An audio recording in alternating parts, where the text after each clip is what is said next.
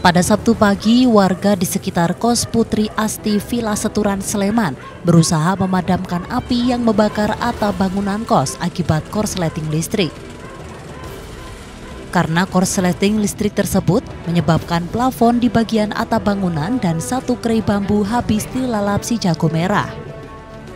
Kejadian ini pertama kali diketahui oleh salah satu pekerja yakni Tony yang sedang mengecat di lantai atas bangunan di depan lokasi kejadian.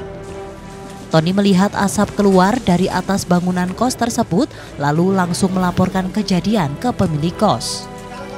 Pihaknya langsung melaporkan kejadian kebakaran tersebut ke pemadam kebakaran di Yogyakarta.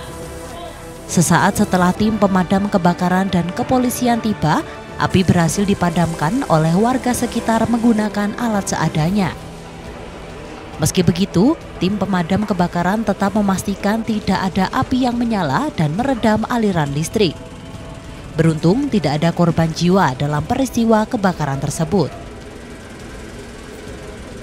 Uh, mulanya itu saya juga gimana pas tadinya baru ngecat seng tuh mbak baru ngecat talang di pojokan atas sana saya tuh lihat apa ya tahu-tahu itu nengok ke kiri tuh lihat api kok api? Api masih kecil tak terus lama-lama agak besar sedikit. Langsung saya minta bantuan turun tapi nggak ada orang yang dengar jadi saya mau turun-turun susah gitu loh mbak.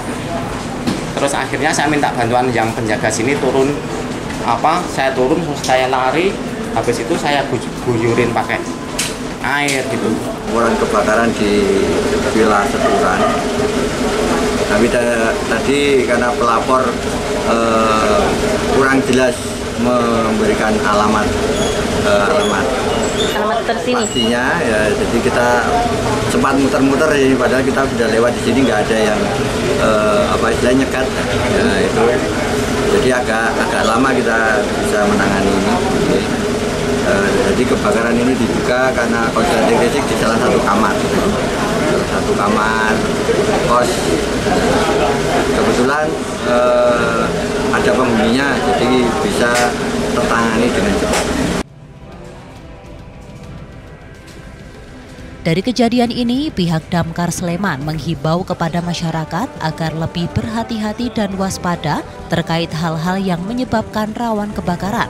Serta jika ditemui hal serupa, masyarakat segera melaporkan ke pihak terkait untuk segera ditindaklanjuti.